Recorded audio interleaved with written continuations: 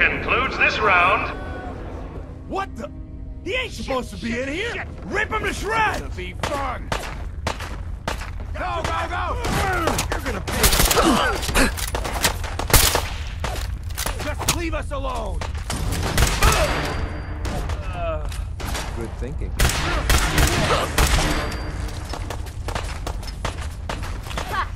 Not bad. Will you?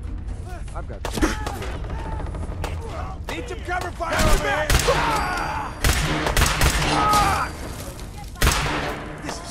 You're a regular artist, aren't you?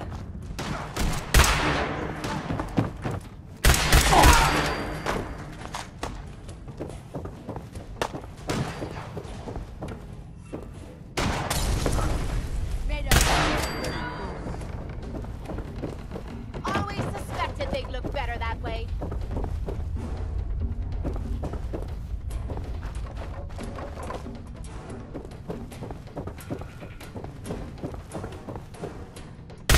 Keep it!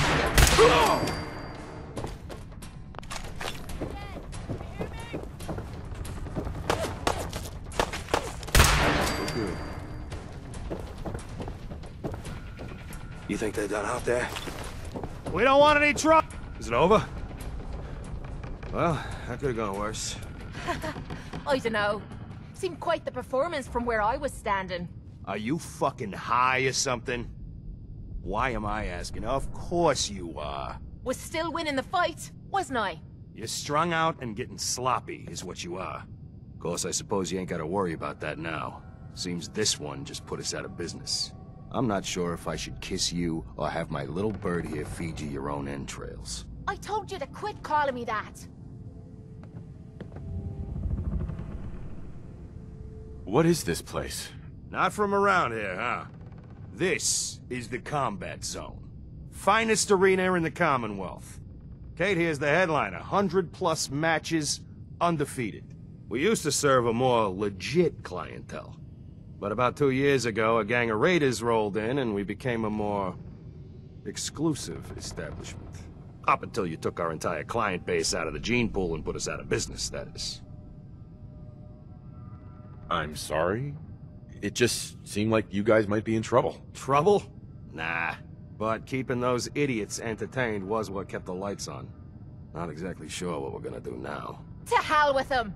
More'll come. Just need a quick breather and I'll be ready to go. A breather? What? So you can slam more of that junk into your arm now? No, you know what? I think this was a blessing in disguise. You caught the end of that bout.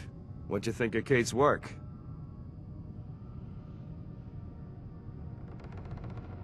She's clearly talented. See? At least someone knows skill when they see it. It ain't your fighting skills I'm concerned with. So here's my predicament. I suddenly got no audience. No audience means I got no caps coming in. And if you ain't bringing in caps, little bird, you ain't an asset. You're a liability. To me, and to yourself. So, here's what I'm thinking. What say I let you take over her contract? She goes with you, watches your back. Look, you'd be doing me a favor while I try to get the place back in order. What do you say? Me. And him. Sure. I could use someone watching my back. Good. It's settled then.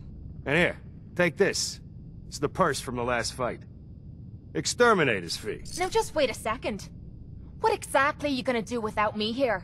You don't need to worry about me. I'll get this place set up right. Maybe find a less blood-soaked clientele. Now get the hell out of here. You ain't welcome anymore, little bird. You're a real son of a bitch. You know that, Tommy? You don't have to tell me. I guess you just come find me then when you want to head out. Cait, So, you're ready to head out? that depends. How are you feeling? I dunno. Feeling kinda useless sitting here with me thumb up me arse. So, are you ready to get this show on the road? Ready. About time I got out of this place. Let's go. I'll be watching, Cait.